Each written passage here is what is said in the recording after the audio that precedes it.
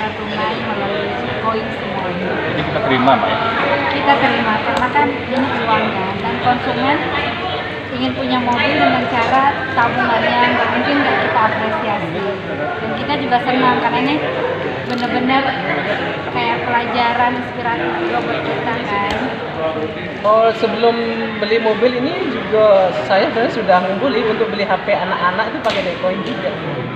Jadi udah terbiasa ya. Luar biasa. Karena inspirasi anak inilah. Kalau anak dikasih duit seribu untuk jajan pasti dilempar. Jadi kayak mana duit itu bermanfaat kan?